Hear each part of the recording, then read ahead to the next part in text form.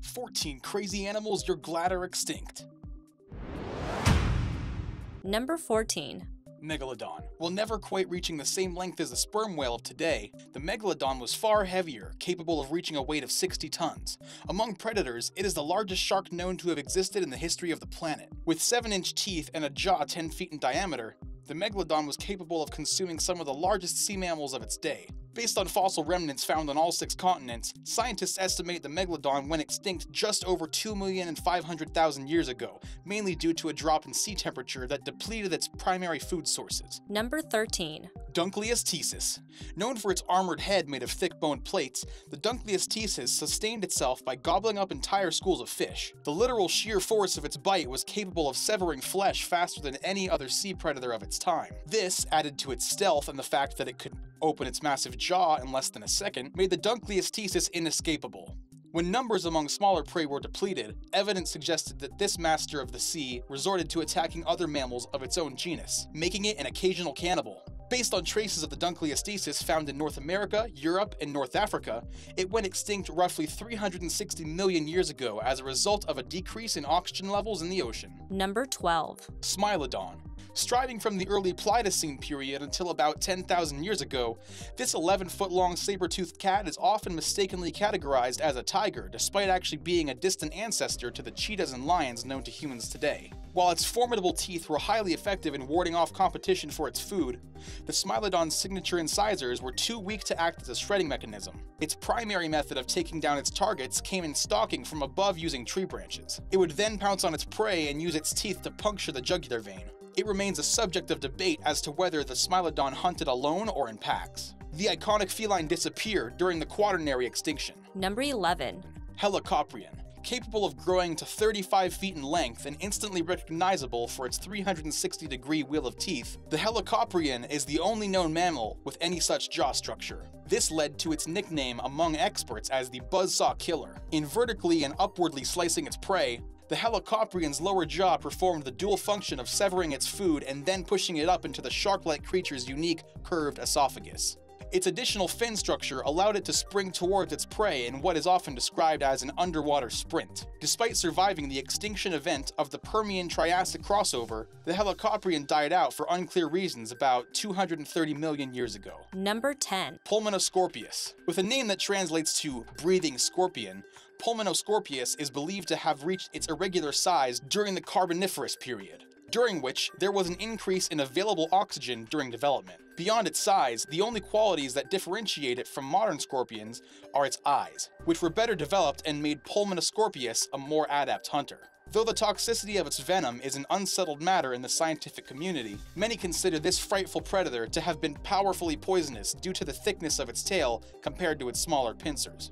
Despite its primary food source being up for debate as well, there is no doubt that it was carnivorous. Even more surprising than its appearance is the environment in which Pulmonoscorpius was found to have lived modern day Scotland. The only reason researchers have a comprehension of its full form comes from how well fossilized its skin became after shedding. Number 9. Phorusrhacidae. It's hard to imagine wanting something widely known as the terror bird as a household pet. Domineering and flightless, Phorusrhacidae would have towered over modern ostriches and probably traveled faster.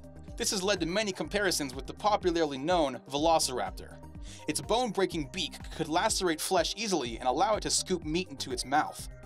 Believed to have traveled in packs, Phorusrhacidae benefited from large nasal chambers that allowed them to communicate with one another over long distances. Although its hearing was almost unmatched by birds of its time, the Phorusrhacidae suffered from an inadequate sense of smell, which may have contributed to its eventual extinction. Number 8. Arthropleura. Considered to be the biggest bugs ever to live on land, Arthropleura were millipedes that could grow past 6 feet in length. Benefiting from the same spike in oxygen levels that allowed Pulmonoscorpius to achieve its size, Arthropleura inhabited and protected themselves among deep vegetation.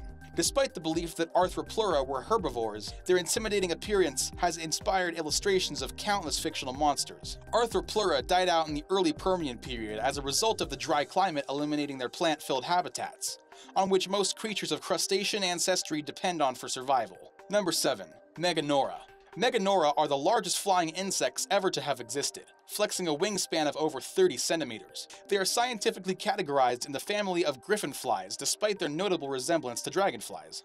Meganeura haunted small amphibians as well as other invertebrates. Discovered mainly in France, experts believe Meganeura to have been the dominant insectivores of their era. They became extinct when oxygen levels plummeted at the conclusion of the Permian period. Number 6. Megapiranha. Based on fossil evidence found in South America, the Megapiranha is believed to have thrived throughout the Miocene epoch. Although it remains a matter of debate as to whether the Megapiranha was an herbivore or carnivore, its appearance makes it objectively terrifying. It was three times larger than even the most similar species of piranha found today, weighed up to 22 pounds, and had a stronger bite than that of the Tyrannosaurus rex. A favorite among aquatic paleontologists, the megapiranha went extinct when the Andes Mountains formed, separating the Amazon basin from the Paraná Basin. Number 5. Titanoboa. With a length of 45 feet and an estimated weight of over 2,500 pounds, the discovery of the first Titanoboa fossils in a Colombian coal mine in 2003 rivaled those of even the most widely recognized dinosaurs. This unparalleled reptile lived in South America's Cerrejón region, today a mostly dry outback that was once discovered with rainforests and deep-flowing rivers. Resembling a boa constrictor, it moved like an anaconda. The availability of a warm climate and heavy rainfall with little seasonal change allowed the Titanoboa's metabolism to increase its growth. By crushing and suffocating even the largest water and land-bound creatures in its environment, the Titanoboa quickly became a dominant predator. Falling temperatures and the drying out of its habitat led to the Titanoboa's extinction at the end of the Paleocene epoch. Number 4. Cameroceras. Instantly recognizable due to its shell measuring almost 20 feet in length, traces of the Cameroceras have been found in central China as well as various parts of Europe and North America. Ranked among the largest cephalopods ever recorded, it inhabited the sea during the Silurian period ultimately disappearing roughly 420 million years ago. Its solid cone-like shell widely differentiated it from modern soft-headed squids and octopi. Strong and far-reaching tentacles grew out from the base of its head, allowing it to quickly crush and suffocate its prey. It has not been determined whether or not the Cameroceras had eyes, creating a mystery as to how it hunted given that cephalopods are visually oriented creatures. Number 3. Sarcosuchus. Popularly known as the super croc, the Sarcosuchus was capable of growing up to 40 feet long. While crocodiles living today achieve an average lifespan of 25 years, this supreme carnivore was capable of living until the age of 40. Adding to its uniqueness among the species, most of which meet their full size upon entering adulthood, the super croc never stopped growing.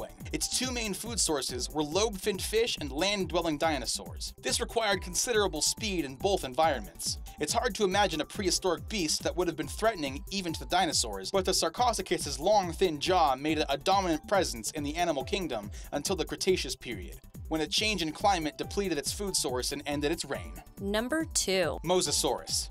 Largely considered the most fearsome water-dwelling dinosaur, the Mosasaurus is a distant relative to the Komodo dragon. Distinct because of its size, up to 60 feet long, and its quadruple flipper fins, the Mosasaurus adapted shark-like tails that increased its underwater speed. Unlike most other aquatic life, Mosasaurus needed to regularly come up to the ocean's surface in order to breathe, limiting the depths at which it could hunt. Surviving on a diet of other sea mammals, the Mosasaurus died out along with all the other dinosaurs during the Cretaceous Paleogene extinction. Number 1. Quetzalcoatlus. One of the largest winged creatures to ever live on Earth, the Quetzalcoatlus was a pterodactyloid pterosaur that glided over what is now North America during the latter half of the Cretaceous period. Because it was unable to actually take off from the ground, paleontologists believe the Quetzalcoatlus sprung itself from high places and then used its wings to drift down over its prey. Taking its name from the serpent god Quetzalcoatl of Aztec myth, it displayed a wingspan three times the length of the Andean condor. That's about 36 feet. With an added weight of up to 300 pounds, the Quetzalcoatlus would have been strong enough to pick up a fully grown man and carry him off with ease.